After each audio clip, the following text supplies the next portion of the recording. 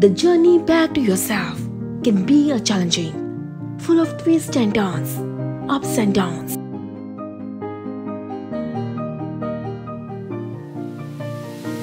But in the end, it is always worth it.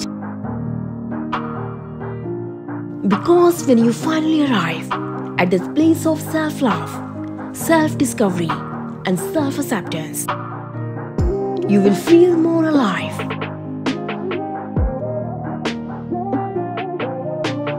More authentic and more fulfilled than ever before.